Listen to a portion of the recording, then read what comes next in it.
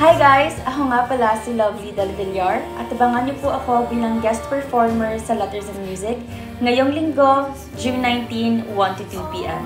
Dito lamang sa Net25. See you guys!